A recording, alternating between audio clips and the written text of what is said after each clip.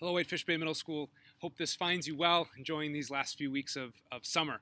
Wanted to just drop in real quick today uh, to talk a little bit about homeroom. You might have noticed on your schedules uh, that you have a zero hour and a homeroom listed, uh, and maybe that's with a teacher you might not even have. Maybe you don't know who they are. Um, so I just wanted to take this opportunity to preview a bit for you uh, this great opportunity for, for our students, and I'll certainly be following up as the year goes on with, with more information about, uh, about how things are going. Um, but essentially, homeroom is something that we were talking about as a middle school well before the pandemic, and the, the craziness of the last 18 months has just really elevated the importance of this time. Uh, homeroom was something we dabbled in a little bit last year, we had this structure in place in kind of a beta version. Uh, but so this will be our first real launch year of, of, this, of the structure, and we just learned a ton last year. But essentially, as we came together as a staff, we crafted a, a purpose statement for this time. And what it boils down to is that homeroom should be uh, a safe space for every single child and where they really know that their voice is heard and amplified. We also want to focus on relationships and how to be in relationship with each other in, in a respectful and supportive way. And third, this gives homeroom gives us an opportunity to focus on social emotional learning skills that are so valuable for, for everyone, but particularly adolescents. Things like how to listen actively or how to set and achieve goals for yourself, um, how to respond to emotions that you're feeling in an appropriate way. So homeroom provides an opportunity for us to do all of these things. And the key to a great homeroom is a really great advisor.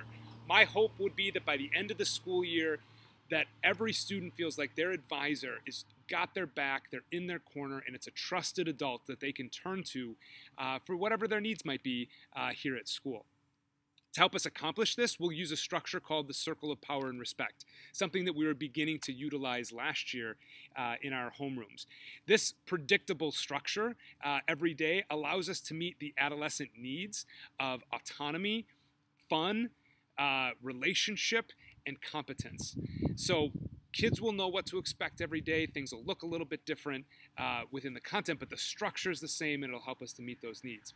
We're currently in the process of writing a curriculum uh, for each of the three grade levels. Uh, but what I can tell you right now is that the first unit is going to be the same across the building, and that's all going to be about trust and connection. As we come back to school, as we reacclimate to, to school, or perhaps it's the first time kids have ever been uh, to the middle school, we really want to focus on building community and a sense of identity for the group, uh, this homeroom group that they'll be in. So we'll be supporting and teaching uh, group behaviors and dynamics. Uh, we'll be supporting positive and, and, respectful interactions. And we really hope that kids grow in their knowledge and understanding and respect uh, for each other during this opening unit. As the year goes on, you know, we'll always be sharing information before a new unit starts in homeroom just to give you a sense of some of the things that we'll be working on and that we hope that kids will be bringing home and wanting to, to talk about their experiences with you when they get home. Also, I hope to do some uh, video recording of a, of a homeroom, uh, live homeroom, so that you can see what it looks like beyond just me just uh, you know describing it to you. So I'll be looking to share some of that in the future. We believe that this is a really powerful strategy for us to help meet our goal of having every single child feel a, a high sense of belonging here at the middle school. Um, it's something we value quite a bit, and I know our, our community values that as well. So we're going to be working really hard, and, and Homeroom will help us to do that. As you go along, have, should you have any questions, please feel free to reach out to your child's uh, homeroom teacher, uh, or I'd be happy to answer any questions that I can as well. Until we talk next week, have a great day. Bye-bye.